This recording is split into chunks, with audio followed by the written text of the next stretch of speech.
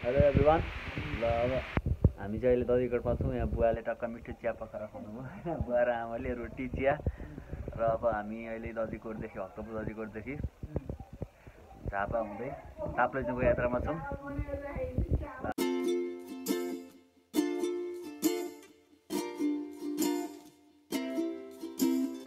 दधिकोटको मौसम त्यस्तो राम्रो छ। खुलेको चट्ट घाम छ चिया वरिपरि हरियाली। डाँडा काँडा चट्ट अनि बुवा रोटी खाँदैछौँ हेलो आऊ न यहाँ हाम्रो उहाँ भा भान्जा भर्खर हाम्रो भान्जा भर्खर उठ्दैछ होइन निन्द्रामै छन् पुरै ल निन्द्रामै छ पुरै उसलाई मनै छैन खाली छ हेलमेट बिर्सेर भान्जोले हामीलाई हेलमेट ल्याइदिएछ धान पुरा लखरा दस हेलो हेलो हेलो गाइड भन यता मामालाई देऊ काँटेर अब छापा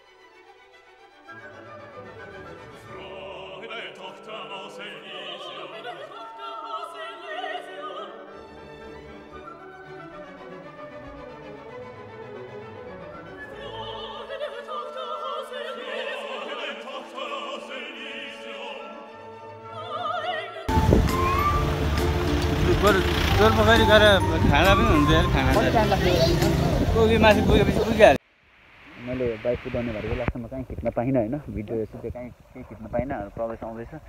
ल अहिले चाहिँ फाइनली आएम एट होम म घर जाँदैछु। सुजन दादा सकुशल आइपुग्यो। खुट्टा लास्टै गलायो।